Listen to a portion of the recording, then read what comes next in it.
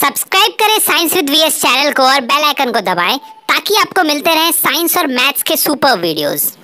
चलिए देखते हैं हमारा क्वेश्चन नंबर ट्वेंटी क्या कहता है? 504 कॉइन्स ईच ऑफ़ डायमीटर इतना centimetre and height 3 centimetre are melted and recast into a metallic sphere find the diameter of the sphere sir देखिए सिंपल सरल, आसान शब्दों में अगर आपको बताएँ कि बहुत सारे कैंस थे, ठीक है, बहुत सारे कोन्स थे, उनको क्या किया गया है? उनको कोन मतलब समझ रहे हैं ना, टोपी वाला कोन जो बर्थडे कैप होता है, वो वाला कोन बोला गया ठीक है? उसको मेल्ट किया गया है मतलब 504 कोन्स को मेल्ट करके एक स्फेयर बनाया गया है, बड़ा सा। ठीक है? अब हमसे पूछ रहा है कि उस स्फेयर का स्फेयर का डायामीटर क्या होगा? सर, आप एक चीज़ ध्यान में रखिए यहाँ पे। क्या? कि अब मान लीजिए 504 कोन का कुछ वॉल्यूम होगा। वॉल्यूम होगा कि नहीं? मान लीजिए उसका वॉल्यूम पाँच होता है। पाँच था उसका कैपेसिटी ठीक है? हाँ। अब उसको अगर मेल्ट करके एक स्पेयर बनाए तो उस स्पेयर का भी तो वॉल्यूम उसके इक्वल होगा ना? लॉजिक है सर लॉजिक है। मैजिक नहीं है। बस इतना समझ गए तो क्वेश्चन बन जाएगा। उसी के आधार पर क्वेश्चन बनाया गया देखिए,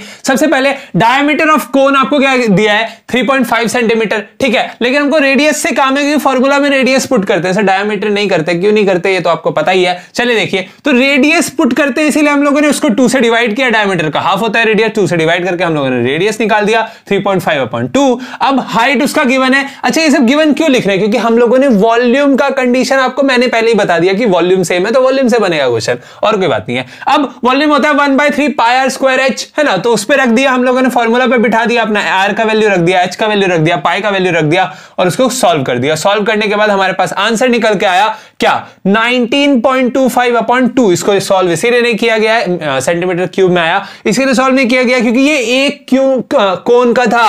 Volume of volume of one cone हम लोगों ने वॉल्यूम ऑफ़ वन कोन निकाला। अब वॉल्यूम ऑफ़ 504 कोन्स चाहिए। क्यों? क्योंकि एक कोन के बराबर उसका वॉल्यूम नहीं है, उसका 504 कोन्स के बराबर वॉल्यूम है। किसका? स्फेयर का हमारे, ठीक है? अब वॉल्यूम ऑफ़ 504 कोन्स मतलब एक एक का इतना है तो 504 का कितना होगा 504 इंटू एक का, है ना? तो इसको मल्टीप्लाई किया तो 4851 सेंटीमीटर क्यूब हमारा निकल के आया, ठीक है? हाँ अब the sphere is made from 504 cones अब स्पेयर जो है, वही 504 कोन्स से बना है।